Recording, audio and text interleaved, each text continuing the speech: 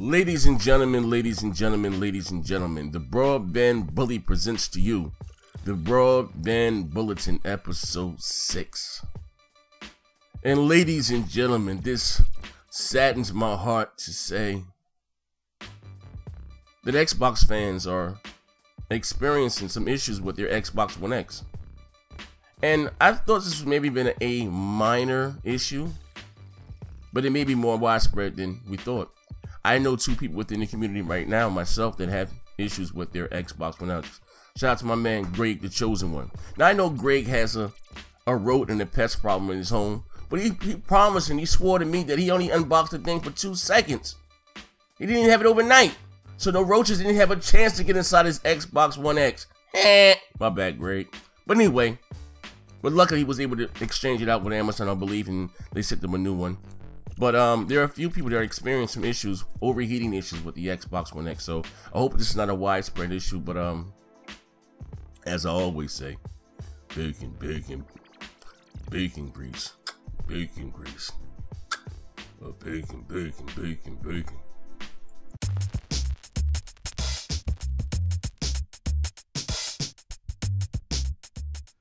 What's up, YouTube fam? It's your boy Jesse P, and I'm back with some news for you. Call of Duty World War II launched last week to a positive critical reception, and now we know the shooter has succeeded commercially too. During its opening weekend, the game sold twice as many copies as Infinite Warfare did during the same period last year, Activision has announced. The three days following launch saw the new Call of Duty making over 500 million, and its PS4 version is the best selling digital full game on its first day of availability ever on the PlayStation Store. Our $500 million opening weekend was not only bigger than Thor Ragnarok, it was bigger than opening weekend of both Thor and Wonder Woman combined, said the Activision CEO Eric Hirshberg. Well, this is your boy Jesse P, and I want to welcome up next Xbox Juice.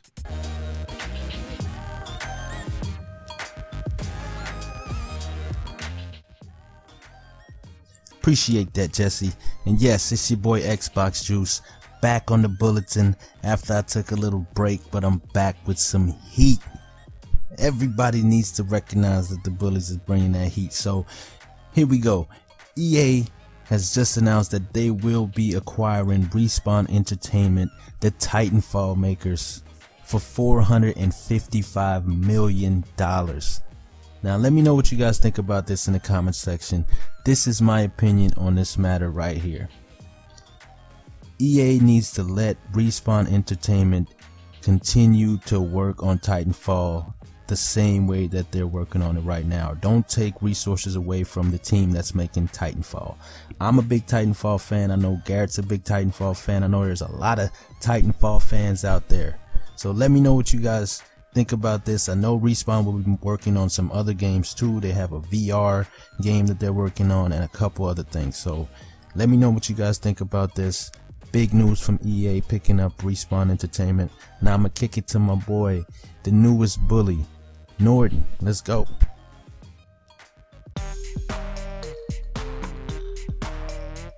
Bro, why you got that that t-shirt on? I just got back from midnight release. Oh, word. Yes, Bro, baby, 4K. I know you did not just go out and buy an Xbox X because it got 4K. Uh, yes, I did. Stop it. What about the games? Stop it, man. What you mean, what about games? Stop it. I said, what about the games? Man, we got games. We Man, ain't got no about- games, Yes, man. do, man. Stop you it, always man. talking crazy. You went man. there looking crazy as hell. Bro, you a grown 30 year old man And? you got a button on your t-shirt. Man, Bro, you stay Ain't nobody hating on you, Yes, man. you Stop do, it, man. All you talking No, I about power. never said nothing about no 1080p. Yes, you did. No, I 1080p. didn't say nothing about power. Yes, you no, did. I didn't. It Yes, always been about games, man. Never. You always talk about it. power. And we got Don't have games. no games. Yes, we do. No, you don't. Name me some. We got Cuphead. I didn't like it. Uh, Halo Wars 2. Didn't nobody else like it. Sunset Overdrive. And don't nobody even remember that game, Oh, man. Come on, man. Stop. bro, you do. Bugging. All you talked about was Never. 1080p. 1080p, Never. fool. 1080p. Never said nothing yes, about you no did, 1080p. man. Yes, you did. Now you don't remember? No, I don't remember. Uh, should I refresh your memory? We'll refresh my memory then. well, let's go. Let's go. Yo, listen, the Xbox just came out and they got five new exclusives already. Bro, who cares if y'all got I five new games cares? on release? Who I cares do. about that and they all 720p? What's what's wrong with Who 720p? wanna see that? 720p? I can see it. It's all about 1080p. Oh fool. my God, here you go. 1080p. For real? 1080p. Man, shut up, man. You too loud, man. You about to go, man. Then I'm about to to go, fool. So So I'm that. Bye. My little pony.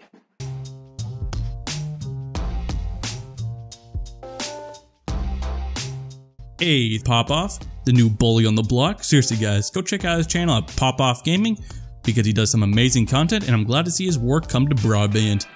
Anyways, getting to my segment, I might ruffle some of those PC Master Race feathers. Now, my fellow Beastfire panel member D-Batch has made a video comparing the Battlefront 2 on the X to his $1,400 PC, which I believe has the Ryzen chip in it.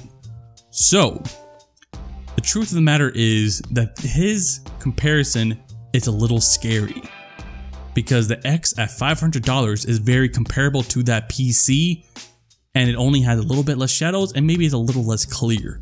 But at the end of the day, that's $1,400 versus 500. Even if you want to round down his PC to $1,000, that's still twice the amount.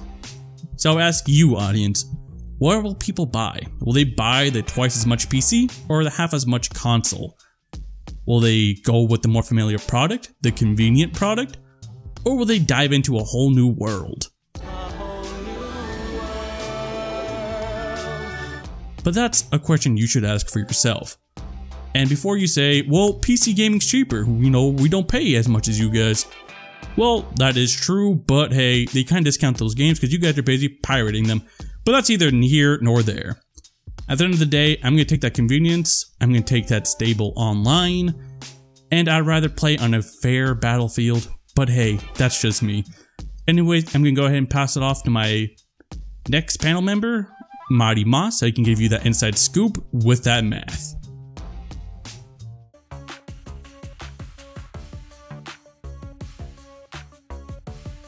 Yo, Neth, thank you for that handoff, bro. My man. Yo, it's your boy, the script writer, Dr. Spreadsheets himself, MM2K.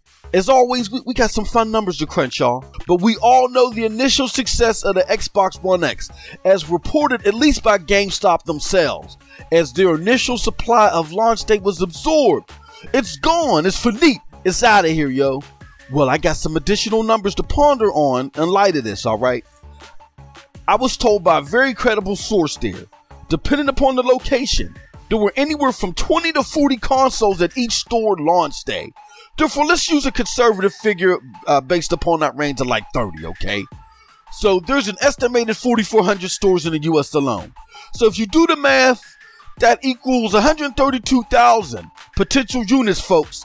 Even if you go with the more conservative figure of 20 units per store, that's still 88,000. Now, why is that important?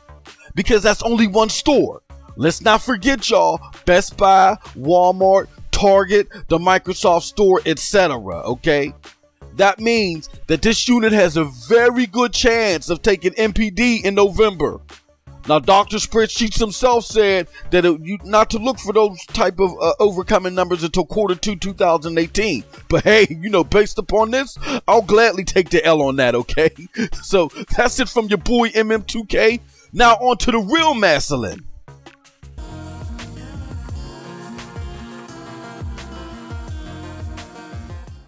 And this is your boy, The Real Mastalin, and that's been your Broadband Bulletin. We appreciate y'all taking the time out of y'all day to watch this little video we put together, and we hope you enjoyed it. If you did, leave a like, drop a comment in the comment section below, follow all the bullies on Twitter, we'll leave the links in the description for that, and support our Patreon. We're just out here trying to grind, trying to get something together for y'all, trying to give y'all as much content and as much news as we possibly can.